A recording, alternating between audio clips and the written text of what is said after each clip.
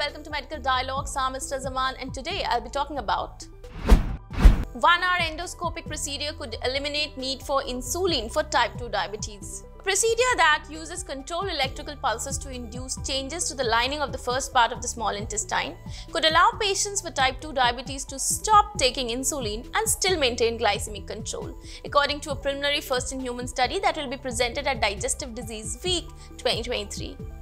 More than 37 million Americans have diabetes and more than 90% of them have type 2 diabetes.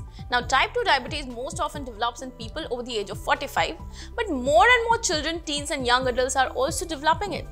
Glucose lowering medication can be expensive, and the injection of insulin has several side effects, including the risk of low blood sugar and weight gain.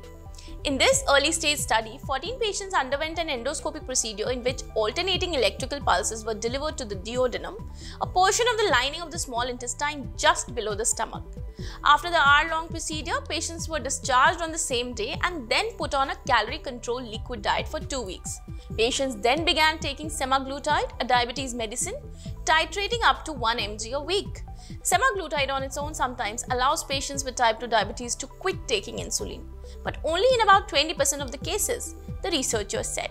In the study, 12 of 14 patients or 86% maintained good glycemic control without insulin for a year, suggesting the improvement is related to the procedure and not just to the semaglutide. Authors are beginning to work on a double-blind randomized controlled trial to test these results. That's all for today. Stay tuned to Medical Dialogues for latest updates. Never miss a medical update from Medical Dialogues. Like, subscribe, and press the bell icon.